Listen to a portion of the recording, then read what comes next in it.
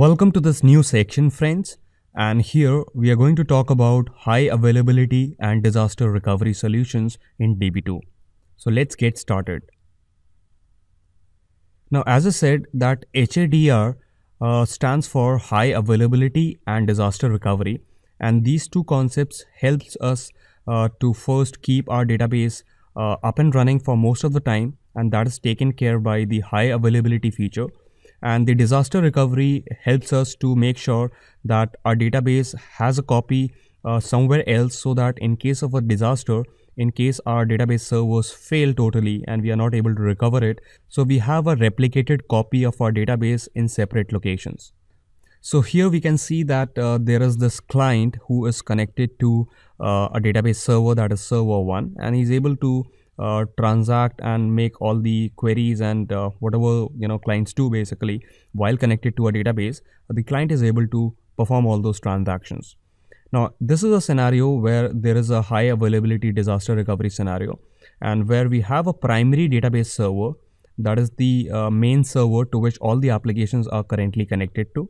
And then there is a standby database server that is this server 2 it can be in the same vicinity as that of the primary database server if you are configuring the whole environment for high availability. Because for high availability, the primary and the standby servers should be close to each other and connected through LAN. And while if it is a disaster recovery solution, then the standby server can be in some other city altogether and can be connected to the primary database server through wide area network or WAN. So right now we have these primary and standby database servers and connected to each other via TCP IP connection. And as and when the clients are executing the transactions on the server one, the log files are getting uh, transferred from the primary to the secondary database or the standby database. And these logs are replayed over here so that this standby always remains in sync with the primary. So the idea is to have both these uh, database servers have the same copy of the database so that in case of a failure, the client can be rerouted to the second server, which then becomes the primary database server and the one that has failed becomes the standby. Now this is known as the application takeover and we'll talk more about that in the upcoming lectures. And once this server becomes available again, then the primary database server, that is this one now, can uh, resynchronize with the uh, standby server and things can get back to the server one again. Now how it works, uh, I think you've got the understanding, but let's break it down into these points. So HADR is based on log replay. So the first thing we need to do is initialize the standby server with a backup copy of the primary database.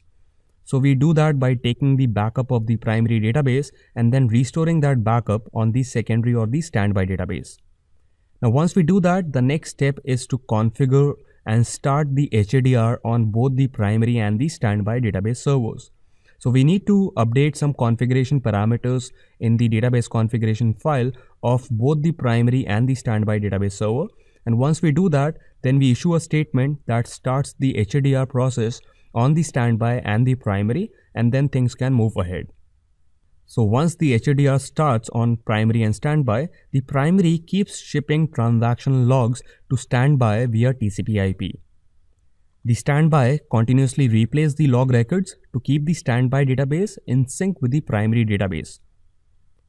In case of a failover, the standby takes over as a primary database server for all the current transactions and thereby allowing the applications to keep performing their work without getting affected much. Now what's replicated and what's not? Any operation that is logged on the primary database server will be replicated. Now these include but are not limited to the insert, update, delete statements that are performed on the primary database and you know that insert, update, delete statements as well as create, alter, drop, all of these statements are logged into the log files at the primary database server. So anything that is captured into the log files on the primary will be replicated to the standby and the standby will be able to replay those uh, transactions or those operations so that uh, it can keep the standby database in sync with the primary database. Anything that is not logged are not replicated and these are for example, the database configuration parameters, uh, not logged initially tables when you're talking about uh, temporary tables, not logged large objects. So in totality, you just can understand that whatever is captured into the log file will be replicated.